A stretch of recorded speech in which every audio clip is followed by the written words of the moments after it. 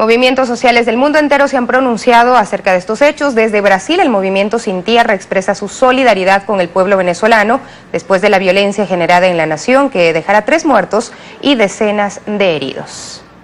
Expresamos, Expresamos nuestra profunda solidaridad con un pueblo que lucha por construir una sociedad socialista.